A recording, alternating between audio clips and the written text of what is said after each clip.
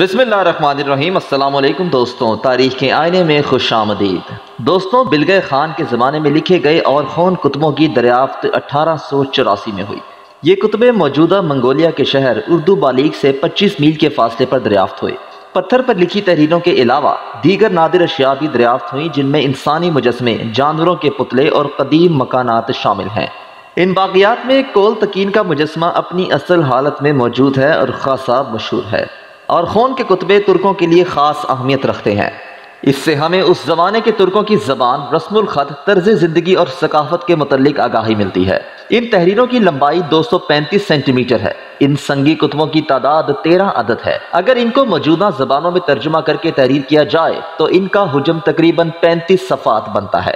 ان میں بلگا خان کے ترکوں کے لیے کہے گئے خطابات، اس کے دور حکومت کے واقعات، التریش خان کی سرگشت اور ترکوں کی عالمگی سوچ اور مقاصد پر روشنی ڈالی گئی ہے۔ مثال کے طور پر بعض کو یہاں درج کیا جاتا ہے۔ اوپر آسمان اور نیچے زمین کی تخلیق کے بعد تنگری نے ابن انسان کو پیدا کیا اور ان انسانوں پر فرما روائی کرنے کے لیے ہمارے والد بومن خان اور استمی خان کو تخت پر سرفراز کیا۔ ہمارے خاکان ابا اجداد عالم و دانش مند تھے۔ ان کے وزرا بھی دانا تھے۔ اس لیے رایا بھی ان کے تابع اور وفادار رہی۔ انہوں نے قوم کی حفاظت کی اور ان کی بہترین انداز میں تربیت کی۔ ان کے دنیا سے پرواز کرنے کے بعد حکومت نادان خاکانوں کے ہاتھ میں آئی۔ انہیں امور حکمرانی کا کوئی شعور نہیں تھا۔ انہوں نے وزیر بھی ناکارہ مقرر کیے، امرہ بھی خیانت کار اور دروگے گو ہونے لگے۔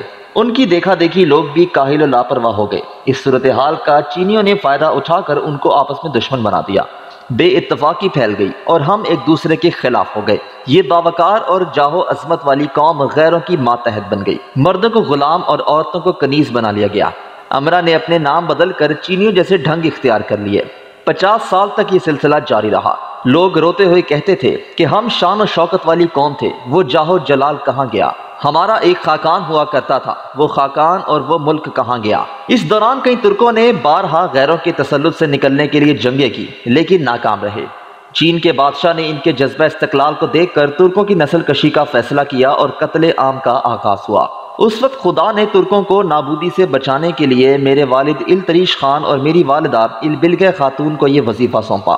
خاکان نے سترہ ساتھیوں کے ساتھ بغاوت کا اعلان کیا۔ یہ تعداد ستر تک پہنچی جو کہ دیکھتے دیکھتے ہزاروں کے لشکر میں تبدیل ہو گیا۔ پھر ایسا وقت بھی آیا کہ دشمن بھیڑ بکریوں کی طرح ہمارے مقابلے میں مرنے لگے۔ اے ترک ملت، یاد رکھنا، جب تک آسمان پارا پارا ہو کر ہمارے اوپر نہ گر جائے اور زمین دھنس نہ جائے تمہاری ثقافت اور تمہاری حکومت پر کبھی زوال نہیں آ سکتا۔ دوستوں، یہ تھے کچھ مشہور اور خون کتبے جو ازل سے اپنی حالت میں آج تک قائم ہے اور اب ہم بات کرتے ہیں گوک ترکوں میں کیلنڈر کے نظام کے حوالے سے۔ دوستوں، ترکوں میں ماہو سال کا نظام دیگر اقوام کے برعکس بارہ جانوروں پر مشتمل ہے۔ اور انہی سے وہ اپنی عمر اور قدیم واقعات کو یاد رکھتے ہیں۔ یہ طریقہ ترکوں میں ہزاروں سال سے جاری ہے اور خون کتبوں میں بھی ان کا ذکر نظر آتا ہے۔ یہی نظام اسلام سے روشناس ہونے کے بعد بھی ترکوں میں جاری رہا۔ سلجوکی، غزنی، عثمانی، افشاری اور کجاریہ سلطنتوں میں اگرچہ ہجری کیلنڈر بھی زیر استعمال تھا، لیکن انہوں نے اپنا قدیمی نظام بھی ترک نہیں کیا۔ اس کے متعلق اور خون کتبوں کے علاوہ دیوان لغات الترک محمود کاشگری البیرونی کی تصنیف آثار الباقیہ ان القرون الخالیہ اور عمر خیام کے نوروز نامے بھی تفصیلی ذکر میں آتے ہیں۔ محمود کاشگری کی کتاب میں اس کیلنڈر کی پیدائش کے بارے میں یہ افسانہ درج ہے۔ ترکوں کے خاکان نے ارادہ کیا کہ گزشتہ ادوار میں گزری ایک یادگار جنگ کی تاریخ معلوم کی جائے، لیکن مورخین درست اندازہ نہ لگا پائے اور ہر ایک کی بیان کردہ تاریخ مختلف سامنے آئی۔ خاکان نے اس بارے میں مجلس منعقد کی اور کہا کہ جیسے ہم نے تاریخ تلاش کرنے میں غلطی کی ہے آئندہ آنے والے ہمارے متعلق بھی اسی مشکل سے دو چار ہوں گے۔ اس لیے ایسا بہتر سالانہ نظام ترتیب دیا جائے۔ کئی روز کے بحث و مشوروں کے بعد یہ فیصلہ ہوا کہ مختلف نسل کے جانور جمع کر کے انہیں پانی میں چھوڑا جائے اور جو جانور دریا کو پار کر کے دوسرے کنارے تک پہنچنے میں کامیاب ہو جائیں، ان کے نام پر یہ سلسلہ ترتیب دیا جائے۔ حکم کے مطابق مقررہ وقت پر یہ عمل انجام دیا گیا۔ مختلف جانوروں کو ایلاسو نامی دریا میں چھوڑا گیا۔ ان میں سے پہلے پہنچنے والے بارہ جانوروں کا انتخاب کر کے الگ کیا گیا۔ چوہا سب سے پہلے دوسرے کنارے پر پہنچا تھا۔ اس لیے پہلا سال اس سے منسوخ ہوا۔ بل ترتیب دیگر جانوروں کے نام بھی اس میں شامل ہوئے جو کہ درج ذیل ہیں۔ سیچان یعنی چوہا، برس یعنی شیر، ناک یعنی بچھو، یلکی یعنی گھوڑا بے چین یعنی بندر، ایت یعنی کتا، صغیر یعنی گائیں تاؤشان یعنی خرگوش، یلان یعنی سانپ کویون یعنی بھیڑ تاووک یعنی مرغ اور دونگیز یعنی خنزیر۔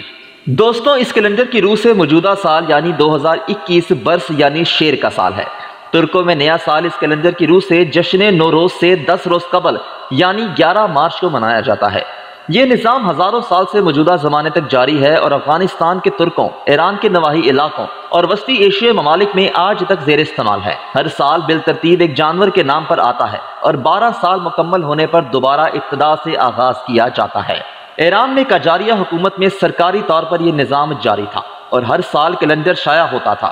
لیکن انیس سو پچیس عیسوی میں پہلوی حکومت کے آنے کے بعد ترکوں کے خلاف حد درجہ تعصبات کے بنا پر ترکی زبان میں لکھے پڑھنے پر پابندی کے ساتھ ساتھ اس کیلنڈر کا استعمال بھی ممنوع قرار دے دیا گیا۔ دوستو، یہ تھے ارخون کتبوں کی تفصیل اور ترکوں کے کیلنڈر کے نظام کی کچھ معلومات۔